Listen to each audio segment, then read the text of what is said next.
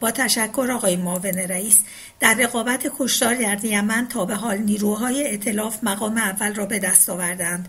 ها و نیروهای وفادار به رئیس جمهور سابق علی عبدالله صالح و در مقام دوم و داعش و القاعده در مقام سوم قرار دارند. نسبت زنان و کودکان در بین کشته و زخمی شدگان در جایی که تقریبا فقط مردها می جنگند و این حقیقت که مکانهایی مانند بیمارستان ها، مدارس، بازار و مکان های مذهبی مورد حمله قرار گرفتند و استفاده از بمب های خوشه‌ای و مین های ضد نفر شکی در استفاده غیر متناسب از نیروها و حمله عمدی بر علیه افراد غیر نظامی باقی نمی‌گذارد امری که به شدت در جهت جنایت جنگی می باشد.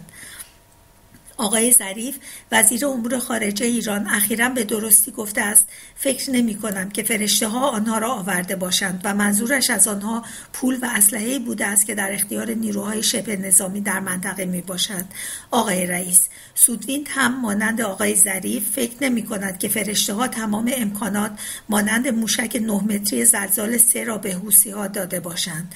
یمن نه همسایه ایران است و نه همسایه هیچ همسایه ای از ایران. مردم ایران هیچ منافع ملی و یا نگرانی امنیتی خاصی در یمن ندارند. با این وصف دخالت ایران در جنگ یمن جز بار مالی برای ایران و مرگ و نابودی برای مردم یمن تاثیر دیگری نداشته است.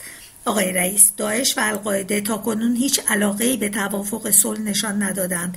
در هر حال این وظیفه این نیروهای طرفدار رئیس جمهور هادی حوسی ها و نیروهای وفادار به رئیس جمهور قبلی صالح است که سریعا آتش بس را اعلام کنند و در همکاری نزدیک با نماینده مخصوص دبیر کل به راه حل طولانی مدت و صلح برسند.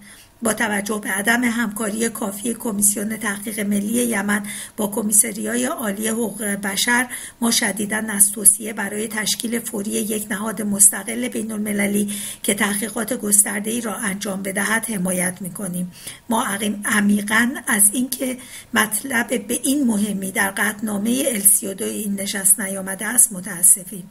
با تشکر آقای معاون رئیس.